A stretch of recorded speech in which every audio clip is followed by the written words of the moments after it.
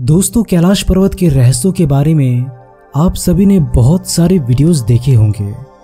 परंतु क्या आप जानते हैं कि आखिर कैलाश पर्वत की गुफाओं में रहकर हज़ारों सालों तक तपस्या करने वाले साधु आखिर अपने पेट की भूख को कैसे इतने लंबे समय तक शांत रख पाते हैं? आखिर कैलाश पर्वत के किस हिस्से में ये रहस्यमय साधु हज़ारों सालों से तपस्या में लीन है? आखिर नासा के साइंटिस्टों ने कैलाश पर्वत में लगाए गए सैटेलाइट्स में ऐसा क्या देख लिया जिसे देखकर उनके भी मुख से हर हर महादेव के नारे निकले। आखिर क्यों हज़ारों लाखों सालों से विभिन्न प्रकार के धर्मों और पंथों के गुरुओं ने कैलाश पर्वत में कई वर्षों तक साधनाएँ की? लगभग 8,848 मीटर ऊँचे माउंट एवरेस्ट की चोटी कई लोग चढ़ चुके हैं लेकिन इससे कम 6,600 मीटर ऊँचे माउंट कैलाश के पर्वत को आज तक कोई फतेह क्यों नहीं कर पाया? क्या कैलाश पर्वत पर भगवान शंकर सच में निवास करते हैं? क्या है कैलाश पर्वत के नीचे दबे रहस्यमय शहर का राज? क्यों स्कंद पुराण, मत्स्य पुराण और शिव पुराण में कैलाश पर्वत को लेकर अलग अलग से खंड दिया गया है? क्या कैलाश पर्वत पर अलौकिक शक्तियों का वास है?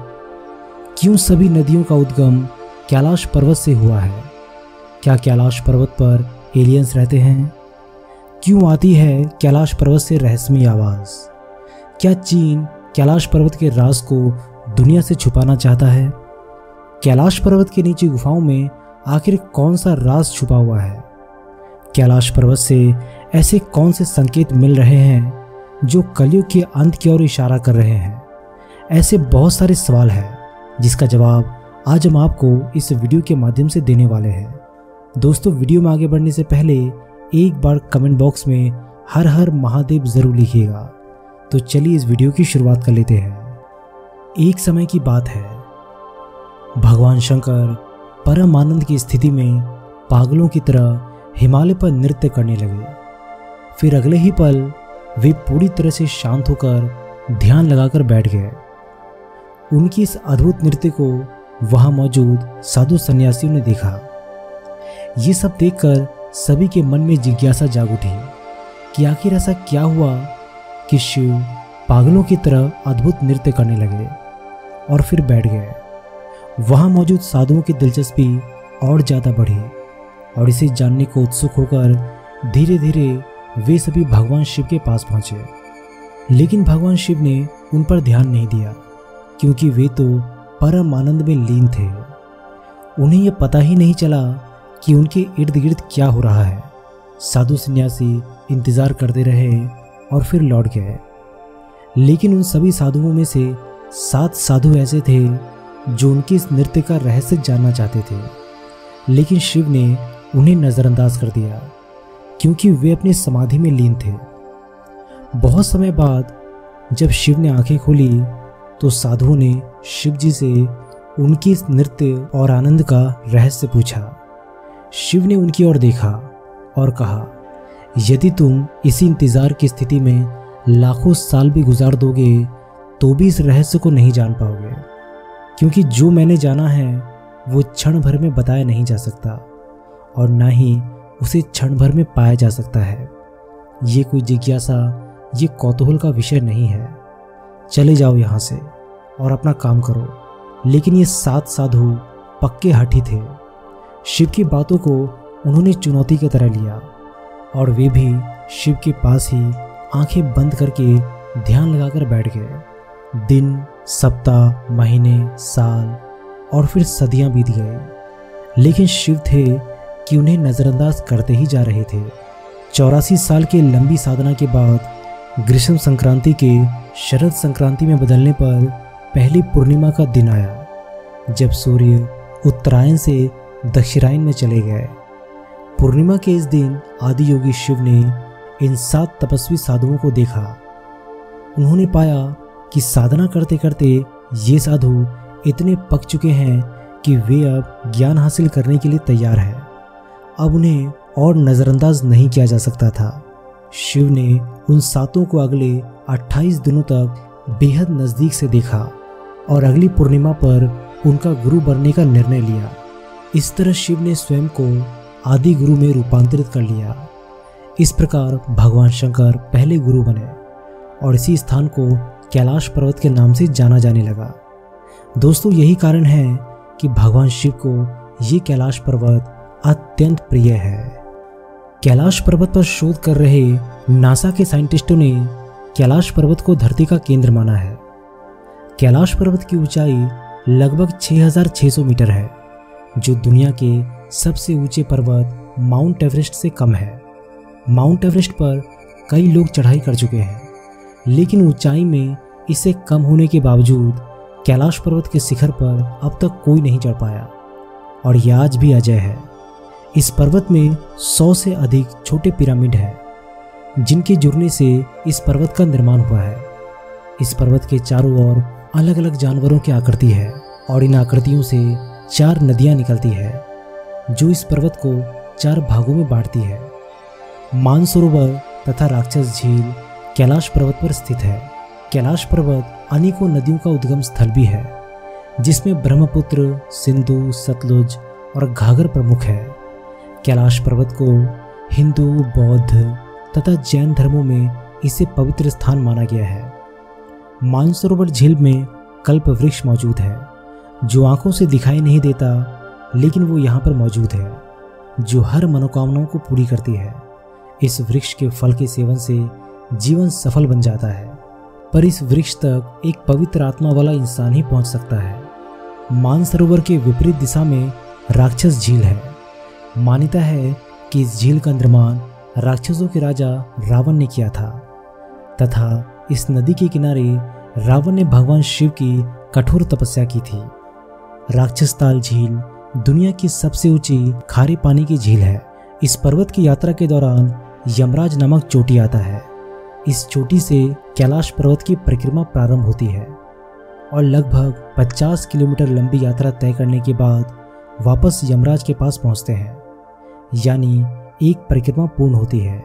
इस स्थान का नाम यमराज इसलिए दिया गया क्योंकि इस जगह पर यमराज रहते थे। और कई लोग ये दावा भी करते हैं कि आज भी इस स्थान पर यमराज विराजित है। जैन धर्म के धर्म ग्रंथ के अनुसार प्रथम तीर्थंकर ऋषभ देव तथा बौद्ध धर्म ग्रंथ के अनुसार भगवान बुद्ध का ये कैलाश पर्वत निवास स्थान है। माना जाता है कि इस पर्वत पर पवित्र आत्मा ही जा सकती है। तिब्बत चीन के अधीन है।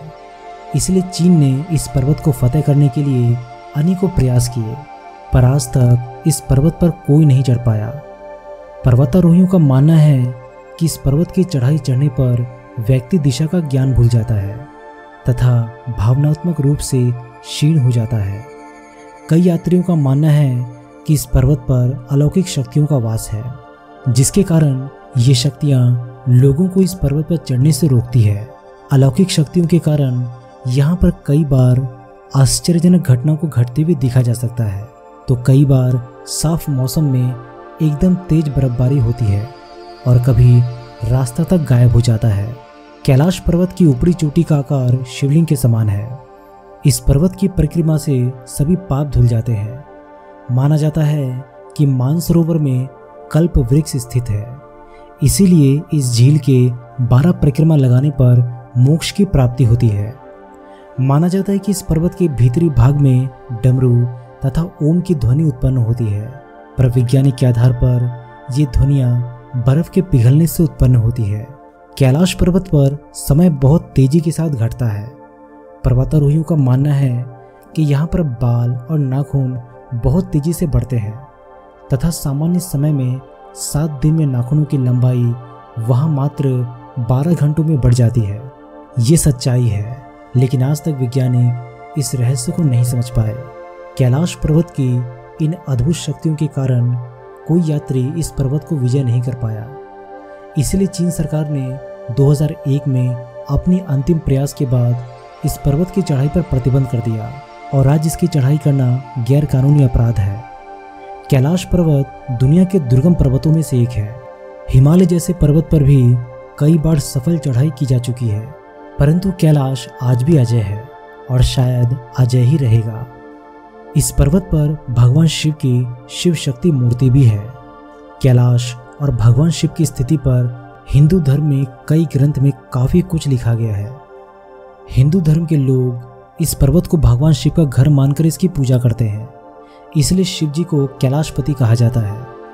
दोस्तों, आज भी ऐसे कई साधु सन्यासी हैं जो कैलाश पर गुप्त रूप से साधनाएँ करते हैं।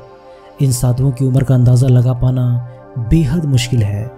कई कई साधुओं की उम्र तो 500 से 600 साल और किन्हीं की तो हज़ारों साल से भी ऊपर है।